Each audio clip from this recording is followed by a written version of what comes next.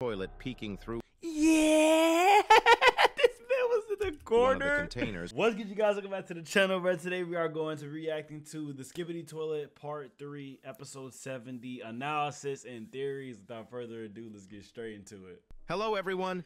Elite cameraman here. Episode 70, part 2 just dropped. And I'm going to be honest, I really wasn't expecting an episode like this with so much new info. And I wonder when we're gonna see. G-Man though. G-Man, As the I guessed in my scientist, 'cause we earlier episodes, I guess we likely really got a glimpse of the origin of the parts Skibidi toilets, and it truly was shocking. Not only that, but we got reveals on some other crazy stuff too. Even though, as Boom revealed a couple days ago, there wasn't much action this episode, the amount of reveals was crazy. Yeah. And there is so much to talk about, so I'm gonna stop yapping and start analyzing the second you like this video and subscribe. Anyways, here we go. This episode directly started with the ending of episode 70, part 1, and actually had the ghost cameraman that we saw in the last episode, which makes me wonder if they were a rendering mistake, or if there are actually ghost cameramen since nothing has been confirmed still, but I'll assume that they weren't there for now since there is no way to know if they were actually there. Mm-hmm. After this, we started hearing the destruction sounds more and more until a hole opened up in the ceiling.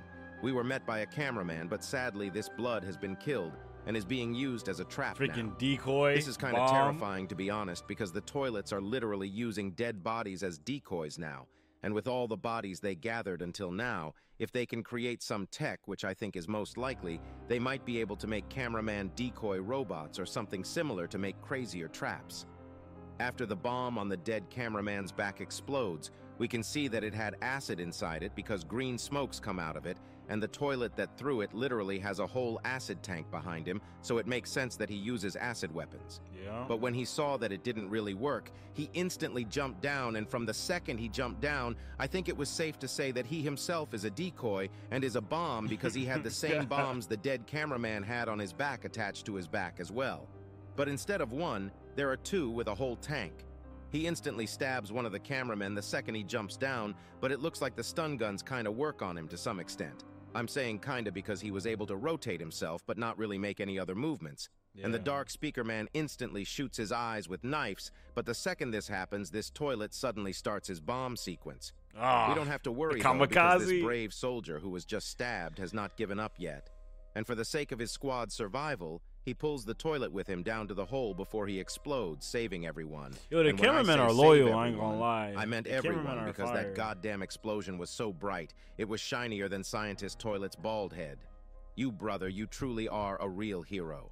We need more cameramen like you in the Alliance. You really don't have to worry because we'll never forget the great deeds you have done for the sake of the Alliance. Subscribe to pay your respects to our brave hero. After this explosion, Plunger Cameraman decides to take one of the weapons off the ground, and while they are all thinking about what just happened and what to do, the elevator starts shaking as if it's gonna fall down, and they instantly start moving, starting with Dark Speakerman flying the two cameramen to the higher floor with his jetpack.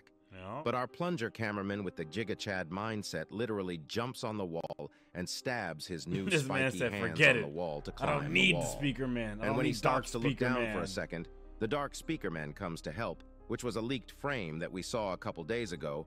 Blood literally slaps Dark Speakerman's hand because of what happened a couple episodes back.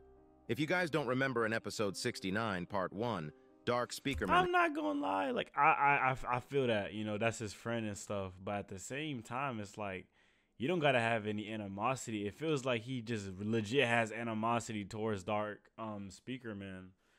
I don't know about that, the hard bro. I feel like he's a the liability because if, if he wouldn't have done the same rest thing, the squad then that's the actually Jackson crazy. toilet.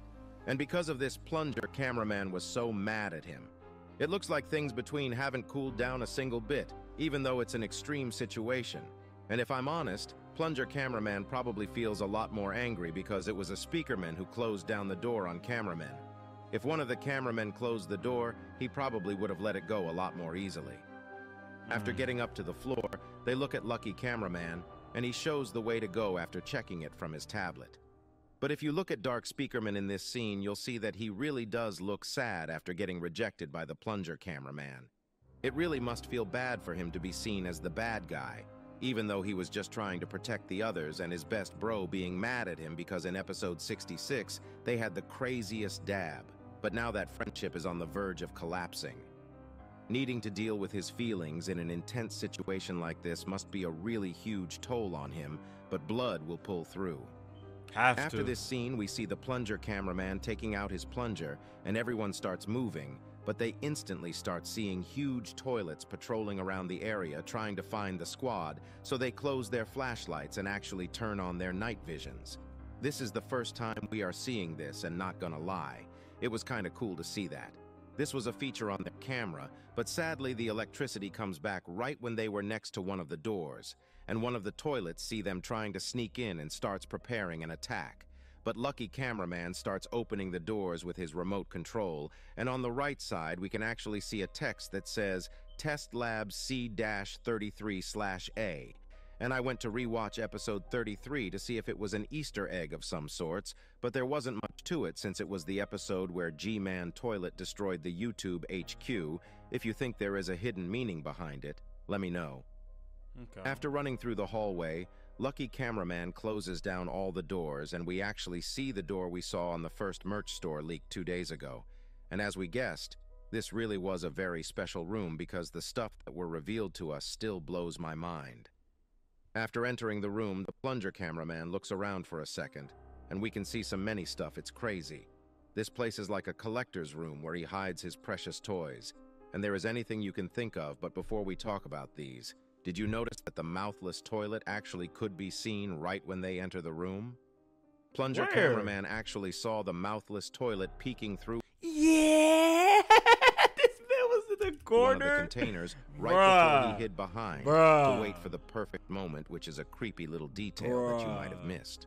That's The first two actually things we see are the two weapons inside the window cases, which are not clear in this frame, but later we can see that one of them is a knife that speakermen use, and the other is a spear.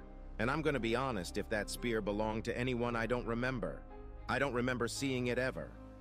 This also might mean that there is someone out there that uses spears as his or her weapon, which might be a foreshadow in itself. The next thing we see is one of the octopus arms. I may be wrong, but I first remember seeing them in episode 44, where the Titan TV man fought against a toilet with these arms. The next X is a huge knife, which I assume Titan Speaker Man used to have. I don't remember him losing a knife. In episode 65 and 67, we saw Titan Speakerman's knives, but I don't know if it was exactly like this. And for this to be here, I feel like it has been here for a while.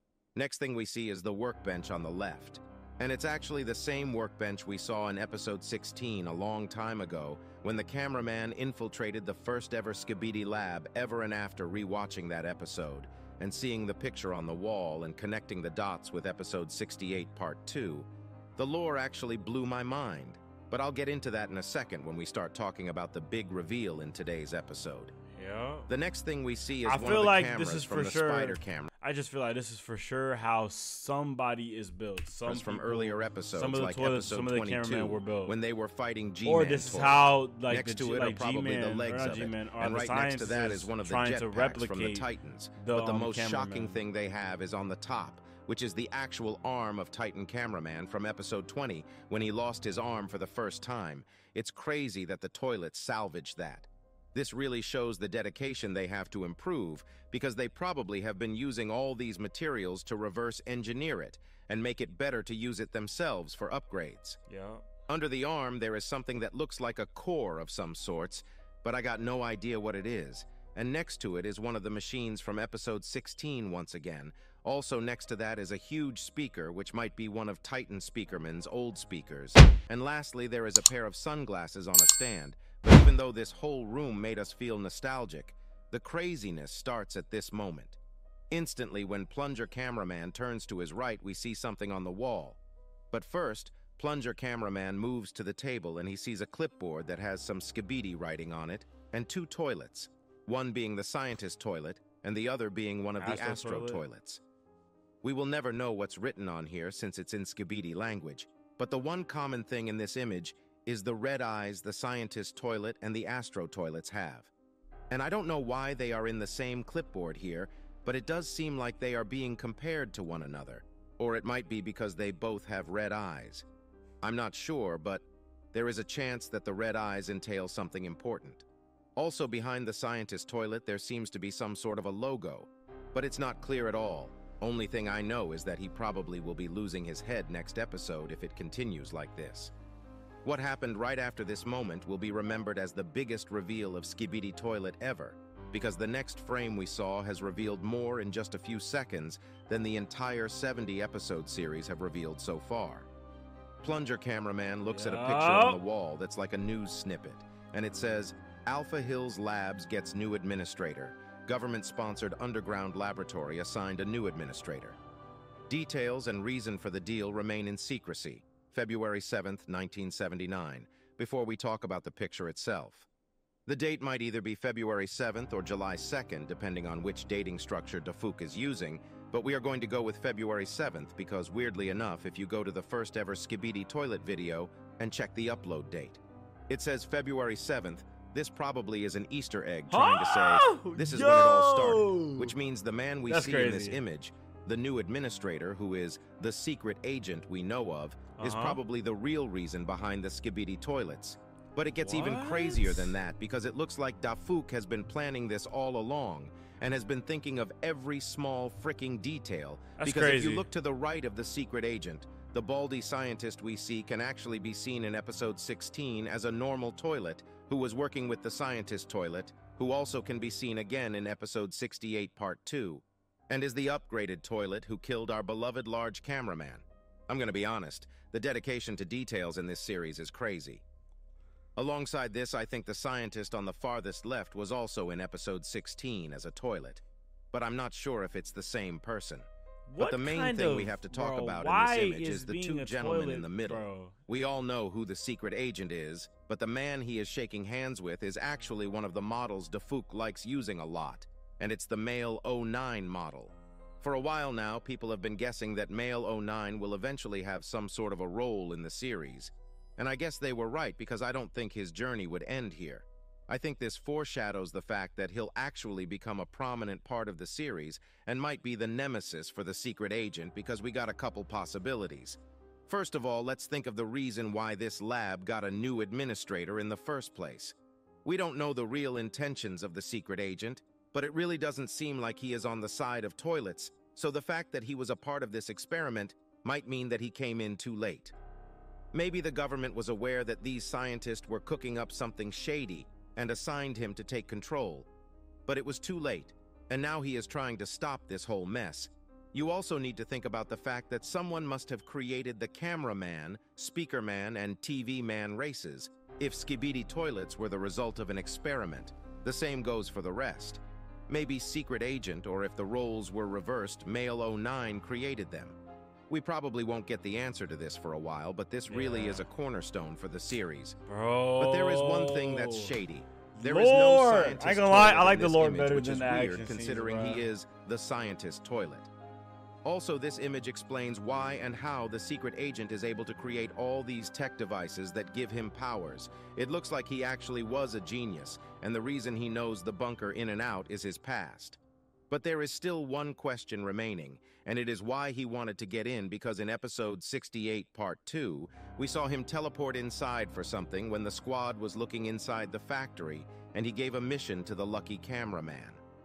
Right after looking at the image, Plunger Cameraman turns to the lucky cameraman, and he is actually holding a book that has an image of a TV. And looking at Lucky Cameraman's reaction, this book may not have been stolen but given to the toilets because Lucky Cameraman really looked disappointed. I don't know what's inside the book, but it surely does look very, very old and might have some secrets inside which we probably will never get to see, at least in the near future. But there is also the chance that these were stolen. Either way, this room is full of mess-ups that the Alliance has made, and they can clearly see the reflection of their mistakes in the past. And what happens right after does not help them at all because suddenly the lucky The cameraman gets guy. pierced through the back just like that, and we see the return of the mouthless claw toilet from episode 42, and it seems like he was hella upgraded because he not just his claws got upgraded, but now he has a whole TV monitor attached to him, which means the TV we saw on Scientist Toilet wasn't a one-time thing, and it's something they can probably mass produce. Yup. The second one of the cameraman realizes his presence, he starts using the stun gun on him, and it seems like it's working, but a stun gun doesn't work on a TV, so the upgraded claw toilet uses his It's TV like on pause the TV? and we start seeing the death beam once again. And it looks like DaFuq actually made some new VFX for this and shows us why the cameraman actually kill themselves when this beam is shown. What does it it, actually say? I have no idea. spams the words end yourself backwards infinitely until the person seeing it unalives themselves, which is crazy. Mm. And this scene was utterly terrifying. The fact that if Dark Speakerman wasn't there, Plunger Cameraman would have been killed is insane, but thankfully Bro saves his best friend by pushing him, and Plunger Cameraman puts the lens protector he got from the large Why cameraman instantly to not be affected by the beam anymore, but Hey. sadly while this is going on, the cameraman with the stun gun kills himself, and this leaves the upgraded claw toilet free, and he starts attacking the Dark Speakerman. Thankfully, Plunger Cameraman throws his plunger in time and uses the dart gun he got earlier to shoot the claw toilet's eyes before smashing his head with the spiky plunger. Here, if you look carefully at the Dark Speakerman, we can actually see that his headphones are now broken, but the saddest scene in today's episode appear right after this, and it's the death of Lucky Cameraman. Mm. We see that he is lying dead on the floor, at least we think he is dead. Alongside this, his tablet is broken and has a message on it, but it's impossible to read. Plunger Cameraman instantly takes the remote control, but I'm gonna be honest, I think there is a chance that the secret agent teleports and saves the lucky cameraman, because at the end of the day, he is still the lucky cameraman, and was the only cameraman that had direct contact with the secret agent as far as we know until now. Even if this does happen, I don't think we'll see it for a long, long time. And if it does, once we do see it, the lucky cameraman probably would evolve into something completely new.